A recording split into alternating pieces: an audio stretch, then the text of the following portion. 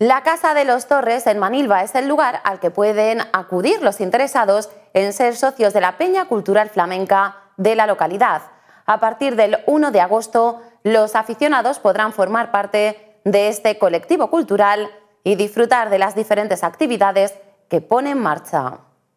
La Peña Cultural Flamenca de Manilva informa a todos los aficionados que el próximo 1 de agosto se pone en marcha la nueva campaña de captación de socios de cara a la temporada 2018-2019. Según esta entidad cultural, dirigida por Pepe García, a partir de esa fecha los ya socios podrán renovar sus acreditaciones. Además, también podrán hacerse el carné los que por primera vez deseen formar parte de la Peña. Para realizar los trámites deben dirigirse a la sede de la Peña Flamenca de Manilva, ubicada en la Casa de los Torres en calle Botica, de lunes a jueves en horario de 7 a 9 de la noche. Cabe recordar que la primera de las muchas actividades organizadas por este colectivo será el Festival Flamenco de la Vendimia, que se llevará a cabo el viernes 31 de agosto y habrá que presentar el nuevo carné para poder asistir.